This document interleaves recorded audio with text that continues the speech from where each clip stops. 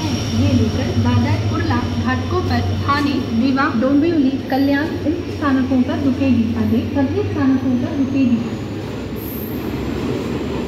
platform क्रमांक तीन व आले में लोकल दहा वाजून पाच मिनिटांची कर्जतला जाणारी जलद लोकल आहे ही लोकल बाज़ार कुर्ला